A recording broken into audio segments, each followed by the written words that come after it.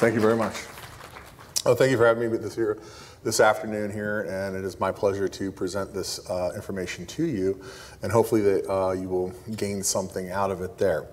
I will disclose when we get into physical therapy and we look at exercise and we look at movement, it is not a one size fits all situation. So I ask you to take that in mind as we kind of go through this this afternoon. When we look at these recommendations and guidelines, that's exactly what they are. They are recommendations, they are guidelines. They are not written in stone. They are not presented as a end all be all, but more as a starting point to start helping people get some better information, to help them start managing disease and pathology in the realm of movement and what we consider restoring optimal health. So, with that, part of that is where I come into this confusion on where to start here because there's usually an evolutionary process when we look at disease and pathology for most individuals and how they move and what they do. And sometimes there's certain diseases and pathologies that are very much newer to medicine, that there's not a lot of information out there. There's not a lot of people working with these things. So as we get there, there is a natural evolution there. So I put this up there kind of as a tongue in cheek when we take a look at this, whereas if you go into the research literature taking a look at ankylosing spondylitis, you might be down more on the latter end of the beginning scale versus where if you looked at ACL protocols in athletes, you might be at the burger size end of the scale of things. And that's unfortunately what we have with some of this research that we present is we have that disparity in information and education. But hopefully with some of this, we'll be able to close some of the gaps for you as we present some of this information so that we can show you what's going on. So one of the things we will always take a look back is take a looking at what the early approaches were, what kind of happens to this information as people present and try to disseminate through this information. So some of the earliest stuff we look at is 1978 in the British Medical Journal, where they were saying, talking about an active approach. They never really defined it, but they were just talking about being active. And they also talked about the ideas of changing certain habits and behaviors. One of my favorites in there is the adjustable mirror to the bed for better viewing, in case you have a pet or something of that nature looking for floor obstacles. And then, of course, as only the British can do it, the carbonate of having the um, convex mirror on it there to again improve visual range as if someone has lost cervical range of motion and does not have the full field, but still can drive and still can function out in society. So these are some early adaptations and measures that were thrown around from uh, the British version of movement. As we've continued into the journey, we've talked about the idea of maintaining and improving spinal mobility and peripheral joints strengthening the abdominal muscles, the back muscles, the leg. And we can achieve this by both a supervised program and unsupervised program. But again, trying to give the individual a better starting point there and just also exercise groups by individuals as well. One of the earliest things that came out was, and this has been for ankylosing spondylitis, is that there has been positive effects of exercise in non-severe ankylosing spondylitis, especially in the short term, have been demonstrated by randomized clinical control trials. This is back in 2004, okay? And if you notice Bath UK, now you understand where the Bath scale comes from. So, so now what? Well, we generally come to a conclusion that if we keep moving, keep people moving, excuse me, they naturally do better, which is true. As human beings, we are designed to move. We're designed to be active. We're not designed to, unfortunately for you, sit behind chairs and presentations and listen to people speak all day. We're designed to be outside, walking around, enjoying the sunshine, even if it is cold. Okay? So the idea is that what are we looking for? We're looking for range of motion. We're looking for aerobic. We're looking for strengthening, and we're looking for balance. These are the big components of just any kind of generalized exercise program that should be out there. And it can be achieved in different ways. So when we come to the idea of this consensus, we were lucky enough this year that there was actually a consensus published. And this is brand new, and it just talks about a consensus statement. So what they did is they did a Delphi project, which is a big fancy term, was they took all the research they could get their hands on, and they started funneling it down and seeing what research met their criterion of value, and then maybe showed the best value for individuals that's out there. And again, it is a consensus statement. It is not a individualistic treatment program. Now, out of that, they came out with 10 recommendations in there the assessment, monitoring, safety, disease management, ankylosing spondylitis specific exercise, i.e., mobility, and then we have the same with other physical activity, dosage, adherence, and exercise setting. Some of these are divided up as far as more physical therapy basic, i.e., the mobility, other physical activity, and dosage, and then obviously looking for disease management more into the rheumatological realm. When you have chronic pathologies like this, I like to use the idea of think of an umbrella. You never have a good working one spoked umbrella. There are multiple providers for pathologies like this in order to make the umbrella work. So for people that have either ankylosing spondylitis or on the other end of the spectrum, Ehlers-Danlos syndrome, which would be the hypermobility connective tissue, there is usually rheumatologists, cardiologists, physical therapists, primary care physicians, the patient themselves. All these things have to work together for the patient and for them to optimize their ability. So one of the biggest things that we always get into with physical therapy is trying to educate the individual and educate the patient and sometimes spouse, family, other care providers there as to what are the changes that happen as we move along. Now, I have one of my favorite friends here. This is Fred. This stands for Flexion Rotation Extension Device. So, he flexes, he extends, he rotates. And if you notice, if we get flexion and rotation, we create something called side bending. So all of that works together. Now the nice part about Fred is that when we can see something move, sometimes it helps us kind of visualize a little bit better on what's going on. Now, so we've just had lunch. So everyone, please stand up. This is an interactive portion of your day. This is just the, where the your glycemic index from that cake is setting in, right? We got to move here just a little bit. So, what do we want to do? We're going to flex a little bit. Everyone just kind of flex nice and easy. Move a little bit. We're going to come up. We're going to turn either to the left or right. You can mirror me. You can go the opposite way. You can come the other way. Come back.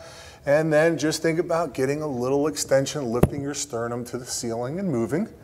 There you go, and now sit back down. Congratulations, you all moved. There we go. Congratulations. Now, as I was looking around at you all doing this, we obviously have some different variations in the availability of movements. So, that's what we're going to get into right now. So, when we look at this, we're looking at the functional and postural aspects are one of the biggest things that we see in the changes of the individual with movement, okay? The main manifestation is decreased mobility. And us as physical therapists, the big thing we're always trying to get people to do is move in any way we can. Now, the problem is, is that we start losing the ability to move, we start seeing this kind of sequelae of events coming down the pike here as to what starts happening down the body. So we start losing mobility, we start loading abnormally, puts more stress and load on different junctions. Those changes start changing how we move in the spine, in the lower limbs, and starts loading the muscles differently. If you remember anything about today, motion is lotion. That's the key. That's the phrase that pays. Motion is lotion. The better movement you have, the better you move, the better you feel. Okay? Now, when we don't move, we get down here, we start getting into inflammatory changes, early degeneration, and increased abnormal high loads. Okay?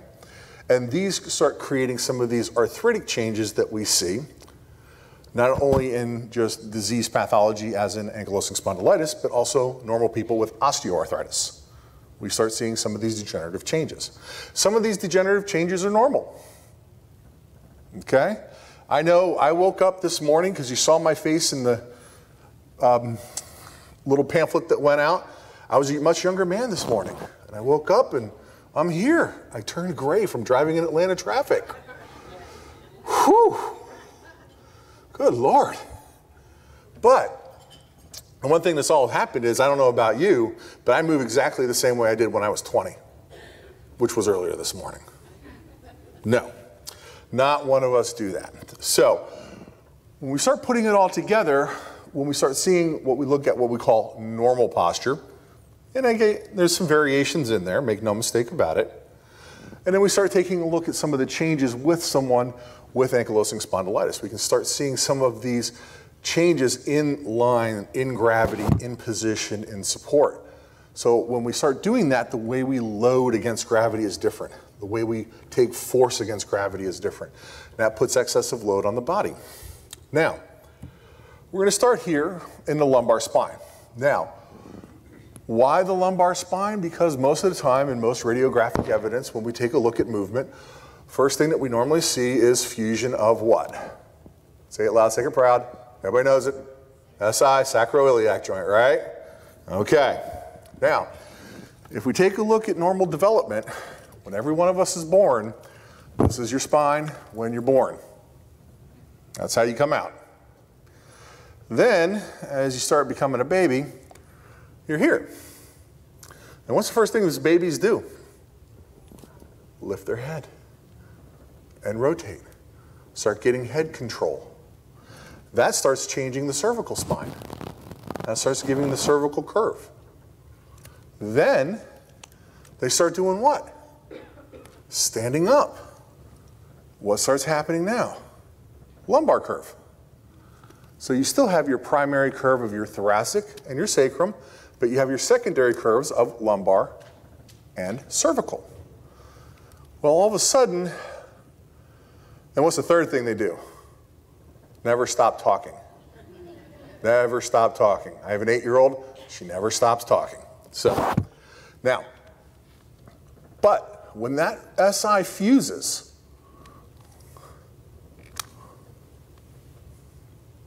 because it can't flex. It becomes a stiff rod.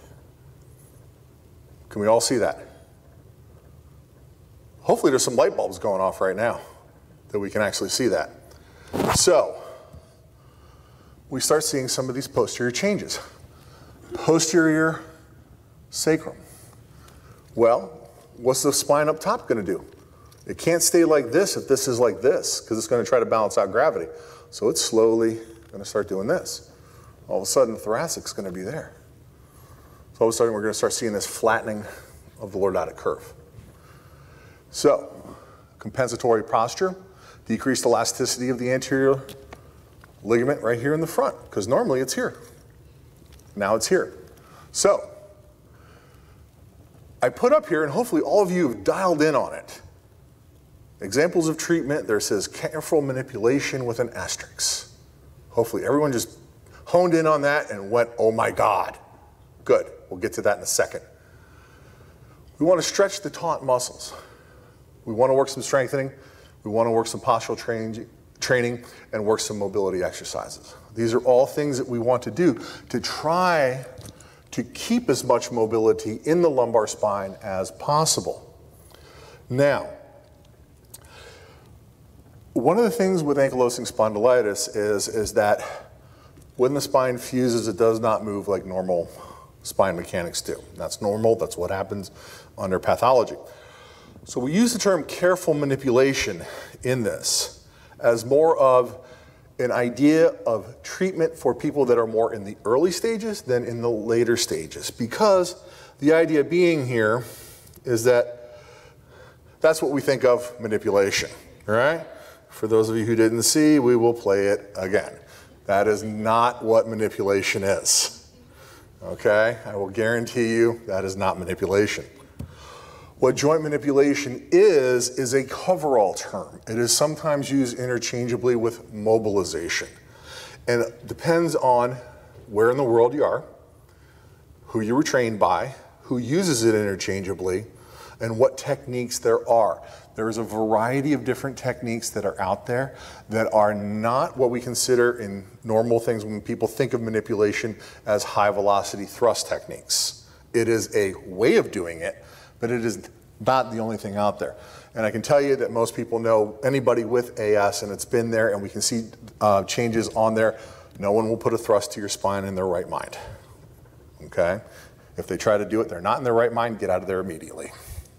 Now, but I throw that out there just so you can see and you can understand is that there is an availability to try to maintain mo mobility into the spine itself, into the joints, even the extremities themselves. They still follow these same rules, okay?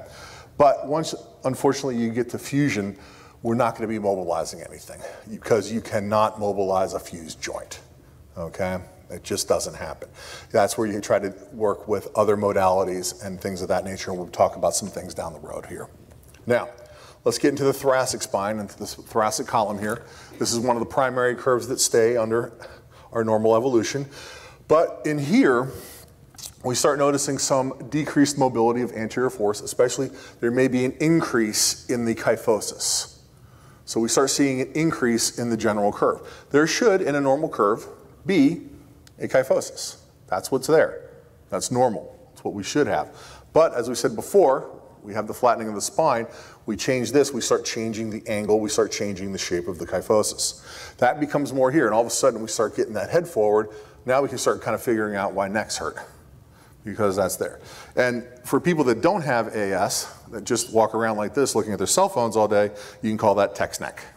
So, but a lot of this you will see in the front itself. You will see a shortening of the pectoralis muscles. You will see decreased flexion into the glenohumeral joints, and you will see a decrease in the expansion of the chest. Here comes the fun part. Okay, I want everyone to stand up again because I told you this was interactive. You will be doing this all day, so if you haven't gotten your squats in yet, you're going to get them in now. Okay, so now, so everyone slouch forward. Good. Now, bring your arms up high as you can. There we go. It's hard to bring them up, isn't it? Now extend through the spine and bring your arms up. Hey, look at where they went to. It is hard to get up there because that is a mechanical change that if the spine is forward, the shoulder blades go forward, the arms can't go up as high. And that is part of just those structural changes. Please be seated.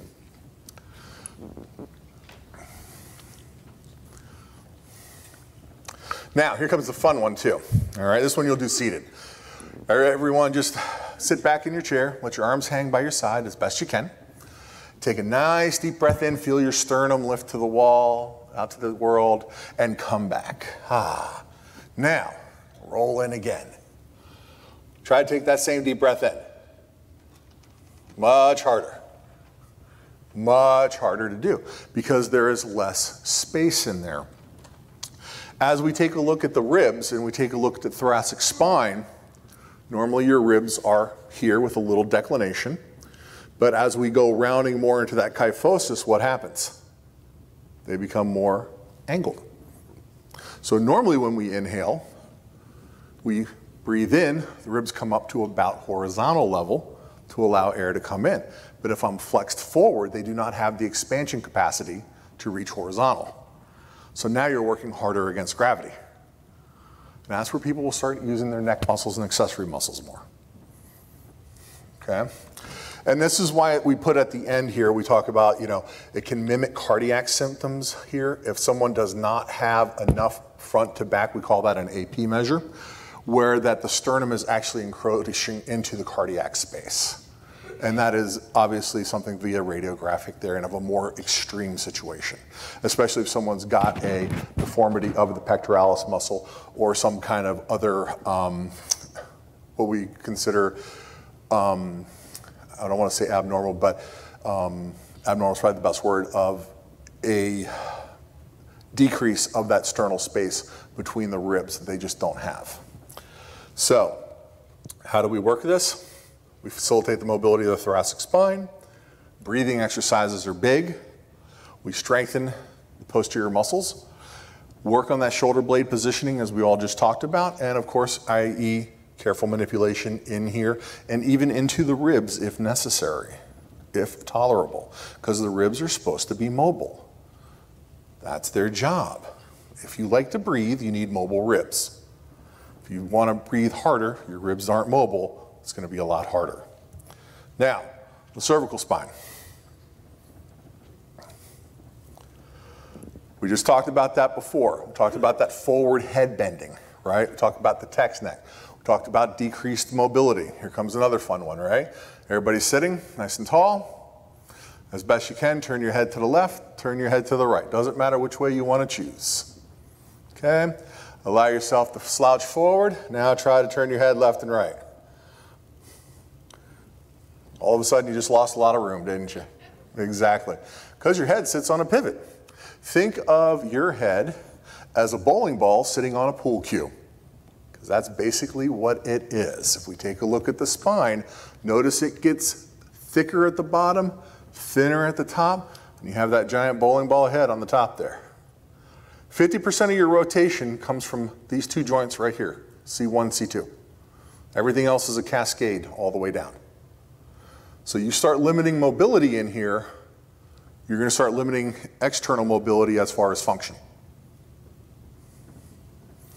Now, and then obviously we're going to have increased muscle pain, neck tension, potentially headaches, ocular pain. Um, sometimes people will have increased jaw pain with it along with that. So these are not abnormal symptoms. They're normal because, again, if the body's not loading normally, we're going to find a way to move. We're going to find a way to adapt. So, lower limbs. Obviously, when we showed you the earlier picture, the first thing that happens as soon as your pelvis goes back is you start flexing through the hips and the knees because you can't get full extension because of loss of the lordosis. So that's why you increase the flexion in through the hips and the knees. So then that's going to lead to the tight and weakness within the hams, the quads, the glute, and the hip flexors there. So this is a problem because when you lose that, you start losing normal balance and the ability. And you will see people starting to shuffle when they walk because they don't have the range of motion to do so. It becomes harder to maintain that balance. You will also see people shorten their step and decrease their stride length and narrow it. And sometimes that narrowing is actually more unsafe because it loses the balance even more. So this is one of the things here where when we lose this extension, we alter the walking mechanics and it becomes harder to move it is a harder movement. So let's try this. Everybody stand up. We're gonna walk around the room here. Everybody just stand up nice and tall, just walk around, take a few steps around where you're at there. There you go. Here comes the topping of the cake, right? Here we go, just walking around the room there. Now stop wherever you're at. Let your knees bend, let your hips bend so you're almost feeling like you're doing a little squat. Now keep that and walk. Uh oh that just became a lot harder. That's a lot more load in through the legs. So you don't have to keep doing that. You can return to your seats, but we have you on camera, so it's funny for all of us.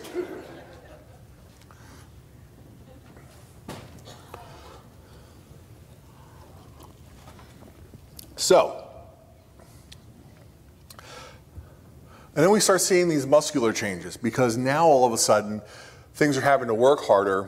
We see loss of strength, shortening of these muscles, structural changes, decreased energy production, and if you're not feeling well, guess what you're not going to want to do? You're not going to want to move. You're not going to want to do things because why? It hurts. It does not feel good. So that becomes that perpetual pain, spasm, pain cycle that you get locked into. And that does not help your condition. That does not help your independence. That does not help your ability to function in the world at all. So, now, what I've showed you with the biomechanical changes is a variety of potential things that are out there. Unfortunately, with ankylosing spondylitis is that not everybody's going to achieve the same distance of inability. Not everybody's going to achieve the same levels of fusion. There's going to be variability that's there. So when we do the part of this presentation, when we're looking at the biomechanical changes, we're looking at obviously some of the more severe limitations that are out there. And unfortunately, some people will progress to that. Unfortunately, there's no prognostication from the physical therapy world that tells us which one, who's going to get to where. We don't know. So we're always just trying to take the individual from where they're at to where we would like them to be, or to what they have and try to maintain what they have and arrest any further deterioration or loss of mobility to the best of our ability. So, what kind of treatments are, are appropriate is always the great question here. And unfortunately, I was trying to get this to work because what would have been really funny is when he cracks his shoulder like that, his leg sticks out. Unfortunately, that did not work. And I was very disappointed by that. But, so, when I'm going through this list now, these are different things from physical therapy, from what we look at, from different treatments that are out there, okay? And it's a pretty comprehensive list. I'm sure there's one or two things that I don't have in here. But again, to try to give you as global of an idea of things that are out there, this is what we've got here. So first thing we look at is manual therapy. And the reason why I put that first, because that is my bias. That's what I do for a living. So of course I'm gonna put that first. Why wouldn't I? That would be ridiculous not to. So when we look at manual therapy, we look at any kind of hands-on treatment. Okay? This includes, but not limited to, myofascial manipulation of different things to get into the musculature or into the soft tissue, i.e., joint manipulation, as we talked about earlier, with the same kind of limitations that we talked about earlier when we looked at the fusion of the joint and movement, and we still include mobilization under this header. And then the problem we have, though, is that there is no randomized clinical trials evaluating the efficacy. There's just not there in ankylosing spondylitis. There are some in people without certain pathologies because it is easier to study and it's easier to grab a cohort for people that need to publish to keep tenure. So a lot of times we're stuck with those individuals there. So, but also the problem is manual, ther manual therapy is never used in isolation. It is used in the collaboration of treatment. It is used as part of the whole. And obviously, depending on who you see, where they've trained, what they do, there will be a little bit of variation into that too. But it can help with movement, it can help with restoration of ability of joint if the joint has the ability to move. And again, this is very highly variable to the individual, where they're at in the disease pathology, and to which joints are fused and which joints aren't. So, electrophysical agents, thermotherapies. Okay? All of these things are used to reduce muscle pain, facilitate joint motion prior to exercise. Not limited to, but some of the things that are out there that you may have seen or heard of diathermy, ultrasound, a TENS unit, low level laser therapy, hot packs would even be included in here as far as movement there. But again, there's nothing evaluating the efficacy and whether or not these do. Most of the time, though, I can tell you from a practical point of view, anecdotal, is that when we use these thermal modalities, because we're inducing heat into the area, most people work better. Okay? So, again, but also it's never used alone. So it may help, though, increase the tolerance for activity. It may help with the individual's tolerance for that. Hydrotherapy or balneotherapy, i.e. spa therapy as well. This is exercising in heated water, uh, water aerobics type of program, things like that there. Um, you'll look over there again when you look at some of the literature into our European cousins there. The passive bathing in thermal mineral water. Yes, we have lots of mineral bathing facilities here in Atlanta, counting zero that um, you will not find here in the United States. But again, if after this talk you're like, you know what, that inspired me to go overseas and travel, and I want to hit the various spas of the UK, feel free. So, but again, it is very much high cost, has a limited accessibility. Um, and for the long term, it's not proven better than just exercise alone there. But it's one of those things there that do we move better because of the buoyancy in the water than we do against gravity? The answer is yes, we do. So there is a value in doing water therapy for people that may have bigger movement limitations because they can do more movement in the water with less load on gravity and may opt to work a little bit better. Let's get to the root of everything here. Exercise, this is our bread and butter especially from a physical therapy point of view.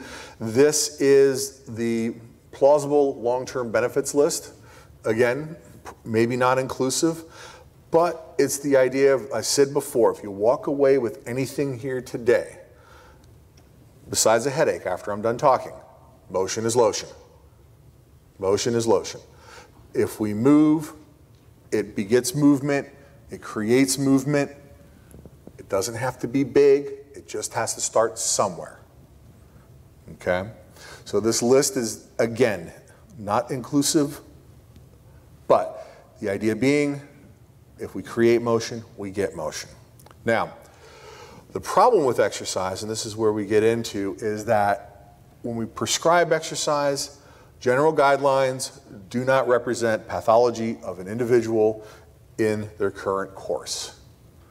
There is not a one size fits all. And if I don't know if you remember, we talked about that consensus earlier, it will say in there, it's not one size fits all. It is a treatment of guidelines to help us recommend a course of action based on the ability of the individual and based upon what they can do and what they can't do.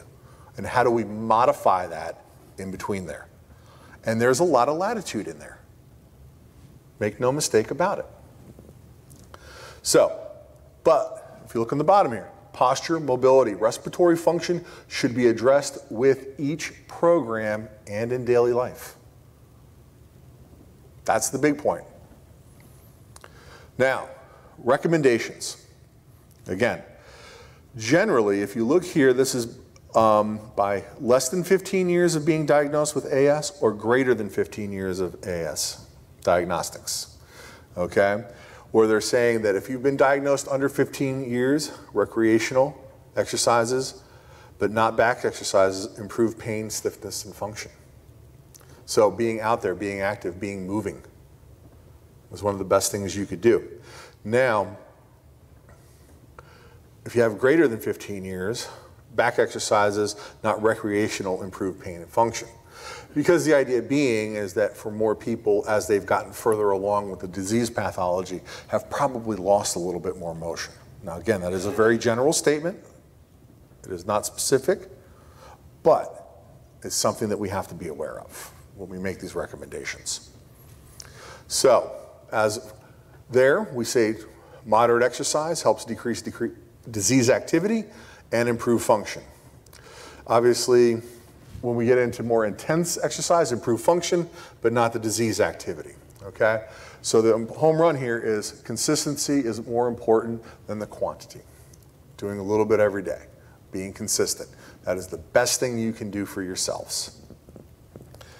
So, again, another exercise consensus, and this is back in 2000, prior to the one that just came out. Talked about we're looking at a minimum of 200 minutes per week of activity, about 30 minutes a day, avoiding prolonged flexion, obviously, because we don't want to encourage some of those pathomechanics and biomechanical changes that we've talked about earlier. And we want to encourage extension and rotation, getting upright, get those back muscles up there. And obviously, there's not going to be, you know, playing volleyball, basketball, squash, swimming, depending on the availability of motion in the individual. But if we've got a younger individual with AS, would we want to encourage them to be as active as possible with these activities? Absolutely. Absolutely. You know? And if you're 86 years old and got AS and can still spike a volleyball, please keep spiking a volleyball. Okay? You want to keep that motion as much as you can.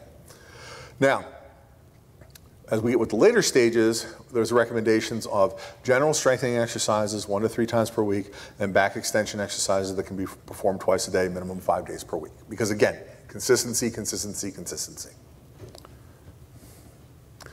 Mobility. When we define mobility, it is the demand for maximal range of motion for the area being mobilized. And by mobilized, I'm not talking from a therapist point of view, mobilizing a joint, I'm talking about movement. The idea of the person moving through a range of motion to do something, being able to reach up into a cabinet, make sure that they've got mobility into the shoulder to do something like that. Okay? So, what we want to have here is free swinging of the trunk and limbs. working rotation of the neck, flexion, extension, and rotation of the spine, little pelvic tilting if available, flexion, extension, rotation of the hip, and knee and ankle movements. Again, it's just general movement stuff here. Just like the first thing I had you all do was what? Stand up, flex down, extend, rotate. It can be as simple as that. It doesn't have to be any monumental thing. It can be simple. With mobility, we look for flexibility, trying to keep the ability of the target areas that get short and tight to move a little bit. One of the big ones, obviously, is the shortened neck muscles, the pelvic muscles. Looking into those hip flexors, looking into those hamstrings. Everybody stand up right now. Here's a real simple one you can do for the hips. Take your chair that you have in front of you or to the side of you, turn it so that the back of the chair is perpendicular to the table. Just like that. Now come right around to the front of the chair and put your knee on the chair. One knee is on the chair, one knee is on the ground. From there, the knee that is on the chair will just go a little forward. Feel the little stretch into the front of the hip. It's a very simple stretch. Doesn't require any major tools. It's a very easy stretch to do. And it's very safe, isn't it? Is anybody having any pain with that one? Not bad. No pain. Besides your normal agonizing emotional crisis pain that we all have. Right? Okay, good. But that's a real easy one to do. Let's take a look, go around to the back of the chair. Right? Put your hands on the back of the chair so you have something sturdy. And then I'll just step out here a little bit. Put one leg back. Drop your weight into the back of the calf and then let your hip come just a little forward. Congratulations, you're doing a nice little easy calf stretch. And again, we can do this anywhere. And then we just switch, switch the legs. Should feel good to kind of move, doesn't it? I know I feel better. They had me locked behind this podium. Not used to that. It's hard. Come on back again. Good. Now here comes a fun one. Bring your chest nice and tall as best you can. Bring your arms out to the side, just like that. Come there, lift up. Take a deep breath in. Extend. There you go. If you can get a little extension with the spine, go ahead and do so. And there. There you go. I'm one step away of creating a cult now. There it is. There it is. Yes, I've set you all up for that joke because it's funny. All right, grab a seat, everybody. But this is what I mean by simple things. It doesn't have to be big, formulative there. Simple motion, easy motion. It doesn't have to be anything that is rigorous in there. Because again, getting movement is the key. And getting any movement that you can within your availability is the key. So, postural correction maintenance here, strengthening of the upper back muscles elasticity of the pectoral muscles. Did anybody not feel a little stretch with that one? Felt a little stretch right there. Excellent. And improving flexibility of the lumbar curve. Now, when we get into strengthening, land versus water, we talked a little bit about this. Obviously, we can do a little bit more in water because of the buoyancy of the water versus when we look at land, land we have gravity, we have specific weight that we're dealing with. Sometimes that can be a little bit more to overcome. So the general rule here is with somebody that's in the later stages of AS is obviously no heavy weights because we don't want so much strain on the tissue. But light weights with high repetition can be functional and available for the individual. Okay? Cardiovascular exercise. Okay, even though despite having restrictions in the chest wall and movement there, we can still maintain mobility into the thoracic spine. Okay, we create short-lived spinal flexibility with movement. Unfortunately, when we do stretches and we have some limitations in thoracic mobility or lumbar mobility there, it's kind of when you start over, you almost feel like you're starting over again. Yes, is the answer, okay? Because you're trying to maintain what you have. There is some gains that will be made. Some people that don't have as much fusion will keep some of those gains at a little bit longer. Some people that have more fusion, you're just trying to maintain with the fusion what you have. So it is very, again, individualistic to the person. But again, overall, the more that you move, the better that we have. Now, if we go down here, regular aerobic exercise is safe for ankylosing spondylitis patients without hip involvement. What we don't have is we're saying that we don't want high impact if we do have a lot of hip involvement, if we're seeing changes in the femoral head, if we're seeing necrosis or something of that nature there, or somebody's already gone and had to have joint replacement, total hip arthroscopy. Okay? Because then it's going to put more pressure in through the bone, more pressure through that, and that's just the normal thing that's there. So then we normally use 60% of the max heart rate for kind of a global measurement as far as intensity. Again, there is variation in that. It is not a one size fits all. So the last thing I want to leave you with, and it's probably the most important thing that we've talked about, is breathing exercises. Okay? This is practice at all stages. Okay? It improves function, vital capacity, improves the mobility of the thoracic spine, improves the movement of the diaphragm, the abdominal and full rib cage expansion there. So I've got a picture here that shows exactly where the diaphragm is located when we're looking at it. Okay? When we talk about abdominal breathing, we're talking about the diaphragm. We're not talking where your belly button is. We're talking up here. So a lot of times when you see people trying to belly breathe, they're actually on their belly. That's not where your diaphragm lives. That's where the intestines are. Why do we know that? We have a picture that shows us. So we come up, follow the green bouncing diaphragm. Okay? Now, what is it? The diaphragm is a big musculotendinous structure that helps separate the two cavities of the body. Okay? And we have the upper layer and the lower layer, which is the abdomen versus the lungs. So we're looking at the changes in diaphragmatic breathing. We want to come in through the nose so that we get a chance to warm the air versus the mouth. Okay? You have little hairs in your nose. That's to help filter the air. And then we create a warm air which comes into the body easier, which is easier for expansion versus breathing straight through the mouth and cold air there. When we look at the mechanics of breathing, we're looking at both the diaphragm and the costal, i.e., the ribs, working together. Okay? They are a joint unit, it's a joint venture. One of them relies on the other to get maximal expansion. So when we're seeing the, the movement changes, this is what physically happens. We can see the change of when we inhale, the sternum rises, there's space between the intercostal motion and we can take a look at the contraction of the diaphragm, how it pushes down. Remember what I said earlier. When we breathe and we inhale, what do we see those ribs? They're almost horizontal, aren't they? They come up against gravity. But if we're slouched down forward, they can't achieve that same position. So it's harder to get air in. That's why the neck muscles have to work more. Those are those accessory muscles.